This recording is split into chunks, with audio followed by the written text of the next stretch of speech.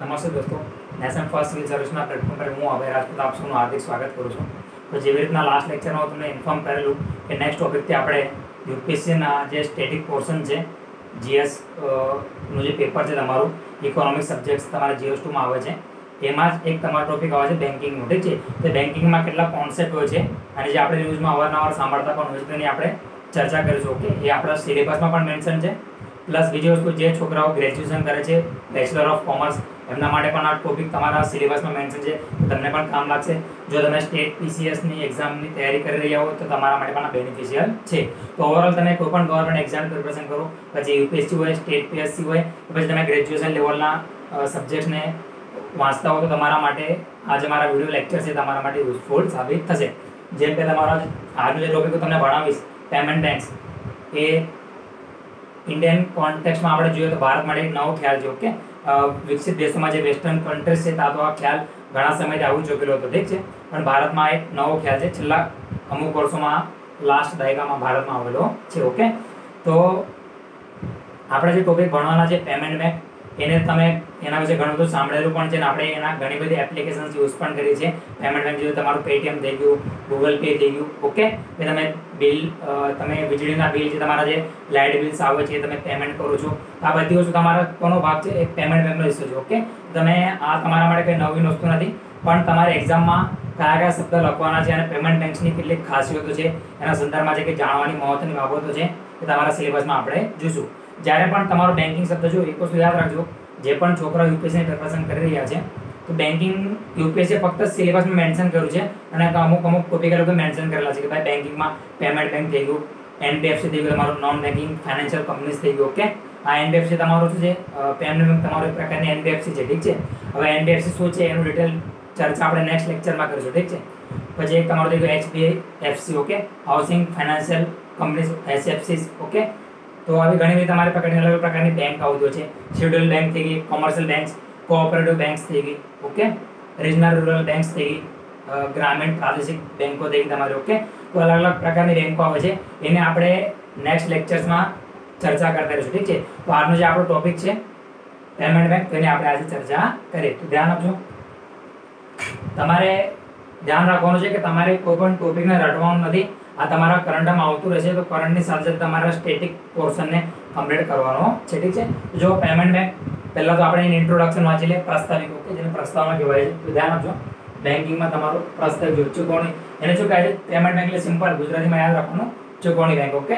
જુઓ પેમેન્ટ બેંકનો ખ્યાલ ભારત માટે કેવો છે? નવો છે, okay? New concept for India Bharat માટે એક પ્રકારનો નવો નવો ખ્યાલ છે, ઓકે? તે બેન્કિંગ ક્ષેત્રે નવી પરિભાષા છે. પરિભાષા શું ડેફિનેશન એક નવા પ્રકારનો કોન્સેપ્ટ છે, નવી ડેફિનેશન છે બેન્કિંગ ક્ષેત્રમાં. પરંતુ તેના બિઝનેસ મોડેલને સમજવું ખૂબ સરળ છે. સિમ્પલ છે, તમે ગૂગલ પે યુઝ કર્યું હશે પેટીએમ તમે યુઝ કર્યું હશે, તો આ તો તમે લાઇટ બિલ ઓનલાઈન પેમેન્ટ કર્યું હશે, અલગ અલગ તમે એપ્લિકેશનના યુઝ દ્વારા. તો આ બધું તમારું શું બતાવે છે? પેમેન્ટ બેન્કિંગ ઓકે તો શું છે કે ભાઈ, એના બિઝનેસ મોડેલને સમજવું છે. તમે નોર્મલી આપણે જે બિઝનેસ ટ્રાન્ઝેક્શન કરીએ છીએ બેંકમાં જઈએ છીએ પછી પેલી બેંકને ડિપોઝિટ કરવાની જે સ્લીપ આવે છે એ ભરીએ છીએ. પછી કાઉન્ટર પર જમા કરવાની, પછી ચેક પાસ થાય એની રાહ જોવાની. તો આ ઘણા બધા ઇસ્યુ આવતો હોય છે. તો આ બધા ઇસ્યુને સોલ્વ કરવા માટે અને સરકારને કેટલીક નાણાકીય સમસ્યાઓની જે એને સામનો કરવો પડતો હતો સરકારે, તો એના માટે જરૂરી ભંડોળ પણ મળી રહે. એના માટે પેમેન્ટ બેંક ખાનગી સંસ્થાઓના માધ્યમથી સ્થાપિત કરવામાં આવેલી છે. જો તમે આખો એનો, તમે ગૂગલ કરશો તો તમને એકદમ ડીપમાં હિસ્ટ્રી મળી જશે. પણ તમને હું ફક્ત સ્પેસિફિકલી એક્ઝામમાં તમારે જેટલું જરૂરી મટીરિયલ તમને જોઈએ લખવા માટે અને જે ઇમ્પોર્ટન્ટ છે એટલું જો તમને બોર્ડ પર અહીં કરાવું. છું ઠીક છે? અને તમારા સિલેબસમાં બી આટલું જ મેન્શન કર્યું છે.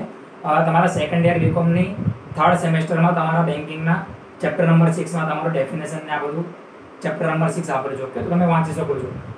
તો પણ મેં મોટાભાગની વસ્તુ કવર કરવાનો ટ્રાય કરેલો છે. ઓકે? ધ્યાન આપજો જો આ બેંકો એટલે આજે તમારે પેમેન્ટ બેન્કો છે. અન્ય બેંકોથી જુદી પડે છે. એટલે જે નોર્મલ બેંક છે, તમારી જે શેડ્યુલ બેંક છે કોમર્શિયલ બેંક છે રિજનલ રૂરલ બેંક છે, તો આજે તમારે કઈ અનુસૂચિત બેંકો છે? એના કરતાં બેંક છે થોડીક ડિફરન્ટ છે ઓકે કેમ? એનું કારણ શું છે? કારણ કે તે શું કરે છે? મર્યાદિત રીતે થાપણ શું કરે છે? સ્વીકારી શકે છે. ડિપોઝિટ્સ થાપણને શું કહે છે ઇંગ્લિશમાં? ડિપોઝિટ કહેવાય છે. ઘણી આપણને કન્ફ્યુઝન થાય કે આ ડિપોઝિટ કે થાપણ વડ શું છે? તો થાપણને ઇંગ્લિશમાં શું કહેવામાં આવે? ડિપોઝિટ ઓકે તો શું કરે છે? મર્યાદિત માત્રામાં અમુક નિર્ધારિત પ્રમાણમાં જે ડિપોઝિટ સ્વીકારી શકે છે. પરંતુ એની ખાસિયત શું છે કે આ ધિરાણ કરી શકતી નથી. શું છે? આ કોઈ પણ પ્રકારનું ધિરાણ કે લેન્ડિંગ પ્રોસેસર પ્રોસીજર એ કરી શકતી નથી. ઓકે? ધ્યાન રાખજો. પેમેન્ટ બેંકને સ્પેશિયાલિટી છે. અમુક માત્રામાં, અમુક લિમિટેડ એરિયામાં એ શું કરે છે? ડિપોઝિટ એક્સેપ્ટ કરી શકે છે but it can not lend any amount of money okay? કોઈ પણ પ્રકારનું નાણાંનું ધિરાણ કરી શકતી નથી. નેક્સ્ટ જુઓ. હવે આ ખ્યાલ આવેલો ક્યારે? ઇન્ડિયામાં તમને કીધું કે હવે ભારત માટે નવો ખ્યાલ છે ન્યૂ કોન્સેપ્ટ છે. વેસ્ટર્ન કન્ટ્રીઝમાં તો પંદર, વીસ વર્ષ, દસ વર્ષ પહેલાં કોન્સેપ્ટ આવી ગયેલો છે. કારણ કે ડેવલપ્ડ કન્ટ્રીઝ છે. ભારત કેવી કન્ટ્રી છે? ડેવલપિંગ વિકાસશીલ દેશ છે ઓકે હજુ વિકસિત થઈ થઈ નથી શકતું ભારત પૂરેપૂરું. તો ભારત માટે આ નવો ખ્યાલ છે. તો ક્યારે આ ખ્યાલ રજૂ થયો? હતો જો, ધ્યાન રાખજો. તમે જ્યારે યુપીએસસીની મેન્સ આન્સર રાઇટિંગ કરશો કે સ્ટેટ પીએસસી એટલે કે તમારું જીપીએસસીની જો ખાસ કરીને વાત કરું, તો જીપીએસસીમાં જો માન લો કે તમારા બેન્કિંગ ક્ષેત્ર સંબંધિત પેમેન્ટ સંબંધમાં કોઈ તમને પ્રશ્ન પૂછાય, તો તમે આ બધી ઇન્ફોર્મેશન પ્રસ્તાવ નામ લખી શકો, ઓકે? જો બે હજાર પંદરના બજેટમાં દર વર્ષે ખબર સરકાર તમને યાદ હશે કે ભાઈ સંસદમાં બજેટ રજૂ કરવામાં આવે છે, ઠીક છે? ફેબ્રુઆરી મહિનામાં. તો આજે બજેટ રજૂ કરવામાં આવે છે, તો દર વર્ષે જે બજેટ રજૂ કરવામાં આવે છે, એમાંથી બે હજાર ચૌદ પંદર જે વર્ષ હતું, એ વર્ષમાં નાણામંત્રી દ્વારા, તો બે હજાર ચૌદ પંદરમાં આપણા જે નાણામંત્રી હતા, જો કે હવે રહ્યા નથી.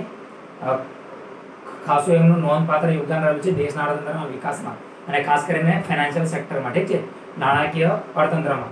તો જો કોણ હતો? અરુણ જેટલીની હું વાત કરું છું. ઓકે? તો અરુણ જેટલીજીએ શું કરેલું? આવી બેંકો શરૂ કરવા માટે શું કરેલું? નાણામંત્રીએ પ્રસ્તાવ રજૂ કર્યો હતો, અરુણ જેટલીએ, ઓકે? તત્કાલીન નાણામંત્રી.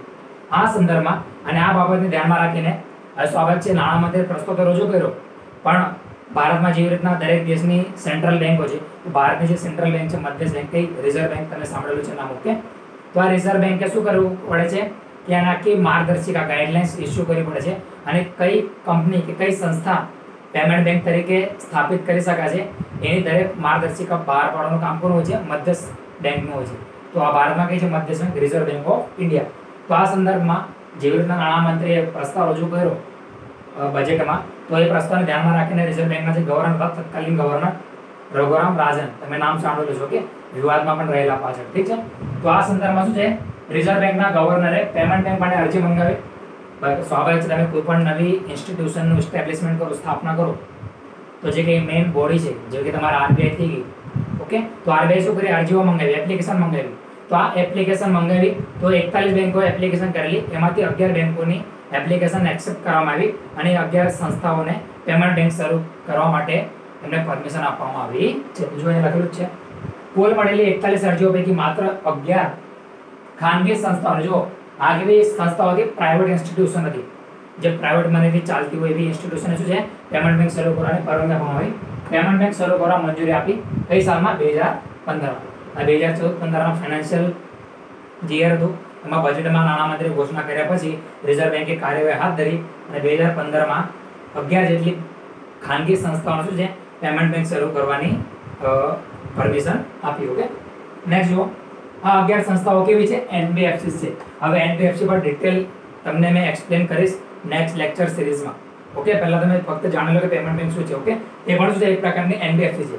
એનબીએફસી શું હોય છે કે ભાઈ, એક પ્રકારની બેન્કિંગ જેવું કાર્ય કરતી સંસ્થા છે, પણ એ વાસ્તવમાં બેંક હોતી નથી. ઓકે ઘણી બધી એનબીએફસી હોય છે. Okay non banking financial company છે. યાદ રાખજો પેમેન્ટ બેંક પણ તમારે શું છે? એક પ્રકારની એનબીએફસી છે.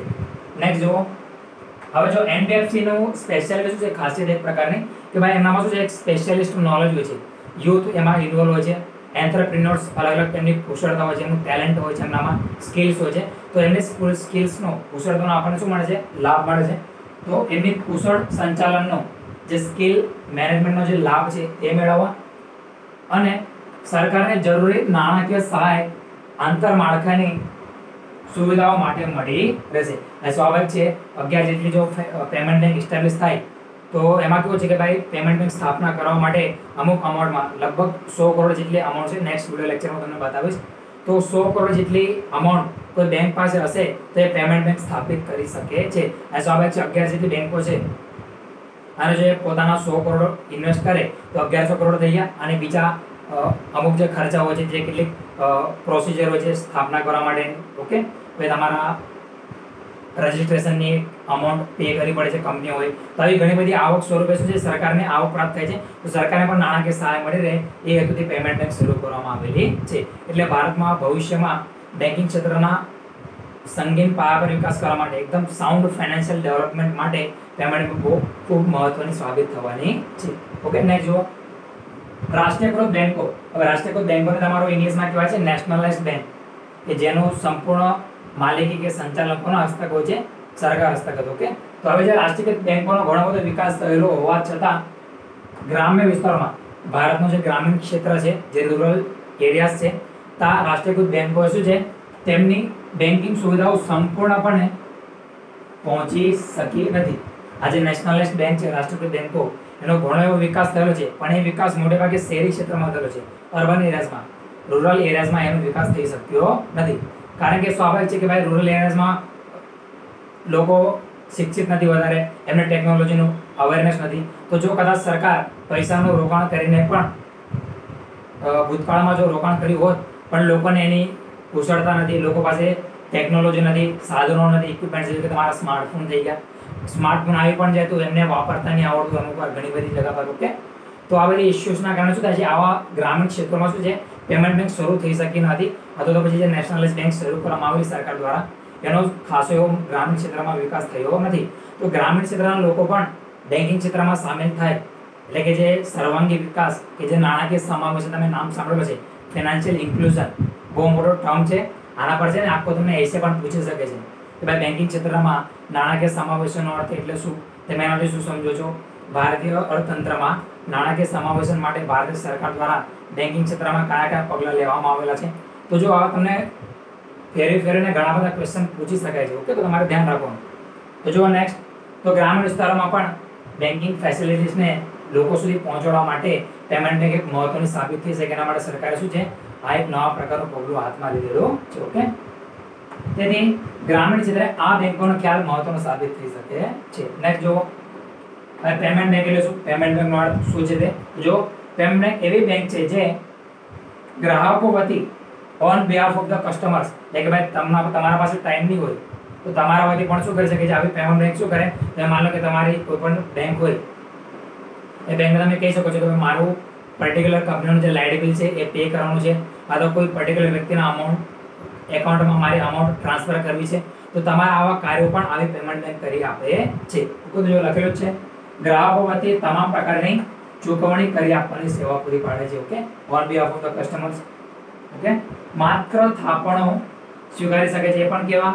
મારા પ્રમાણમાં આપણે આગળ જોઈ તો કે પ્રસ્તાવનામાં. એટલે જો તમે કોઈ પણ કોન્સેપ્ટ તમે જ્યારે કોઈ પણ નવો ટોપિક જ્યારે ભણો તો એના વિશે જો તમે ઇન્ટ્રોડક્શનમાં જો તમને ક્લેરિટી મળી જાય, તો તમે એની વ્યાખ્યા પણ બનાવી શકો છો અને એના પર વિસ્તૃત એક કે બે પેજ જેટલું તમે પણ લખી શકો. છો કે જો મારા માત્ર ધિરાણ એટલે કે ડિપોઝિટ સ્વીકારી શકે છે but payment banks can not lend to any institution or any individual કોઈ પણ વ્યક્તિને કે સંસ્થાને કે કોઈ સરકારને શું છે, એ નાણાંનું ધિરાણ કરી શકતી નથી.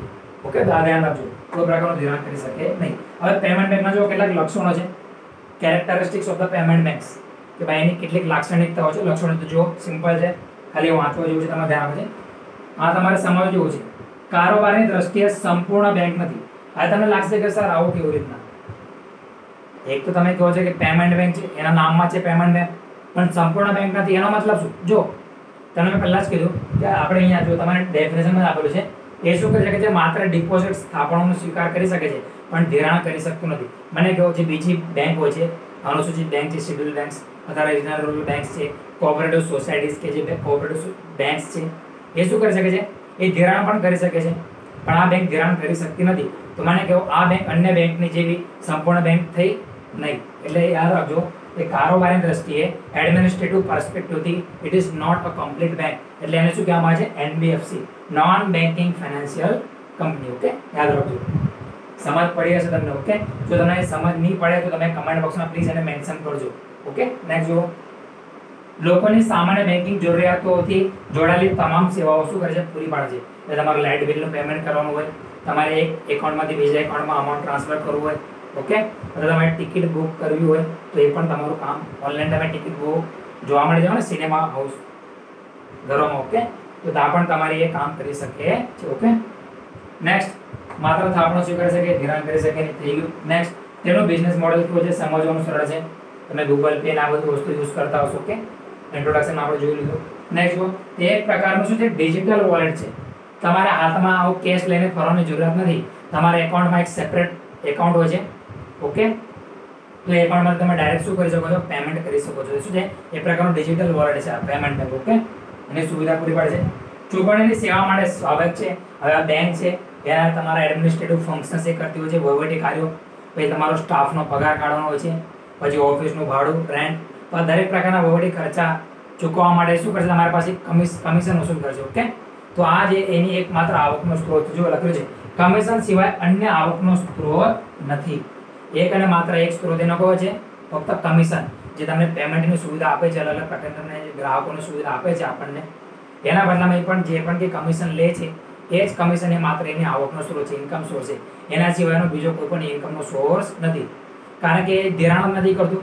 ધિરાણ કરતું નથી તો સિમ્પલ જેના પાસે અમાઉન્ટ આવતી નથી ઓકે નેક્સ્ટ વન લાસ્ટ તેણે અન્ય અનુસૂચિત બેંકોને, જે તમારે શેડ્યુલ બેંક્સ એની ઇંગ્લિશમાં કહેવાય છે, જેમ સીઆરઆર અને કેશ રિઝર્વ રેશિયો એને રોકડાના પ્રમાણ કહેવામાં આવે છે. હવે સીઆરઆર શું છે એસએલઆર શું છે રેપો રેટ શું છે રિવર્સ રેપો રેટ શું છે, આ બધા રિઝર્વ બેંકના ફંક્શન્સમાં પણ આવે છે.